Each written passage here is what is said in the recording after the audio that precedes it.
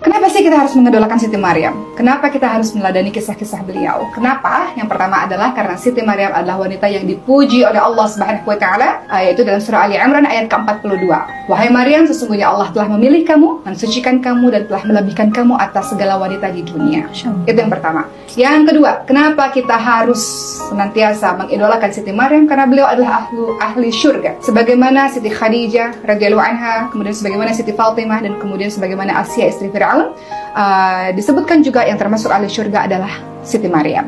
Ketiga, kenapa Siti Maryam luar biasa hebat? Karena beliau lahir dari kedua orang tua yang sangat saleh, orang uh, tua yang sangat beriman. Uh, kita lihat bagaimana dalam surah Ali Imran ayat 35, bagaimana orang tuanya Siti Maryam khususnya ibunya berdoa agar anak ini menjadi pengabdi agama Allah.